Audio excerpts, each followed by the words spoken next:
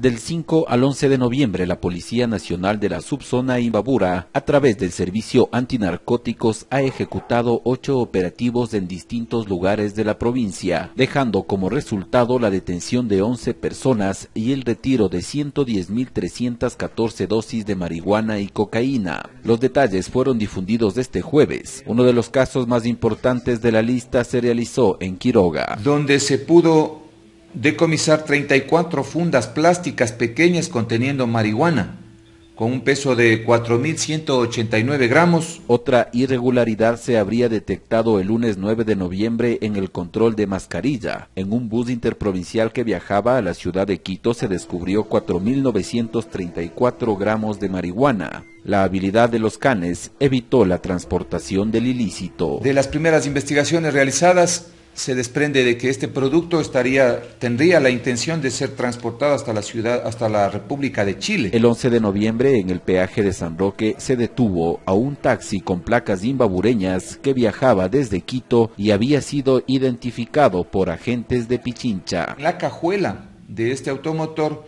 se pueden ubicar 53 paquetes de marihuana tipo ladrillo esto da un contenido de 27.726 gramos de marihuana. En Ibarra ese mismo día se detuvo a un sujeto que presumiblemente se dedicaba al comercio de alcaloides a los estudiantes de los planteles ubicados cerca al Parque de la Merced. Y al realizarle un registro se le decomisa 1.151 gramos de marihuana.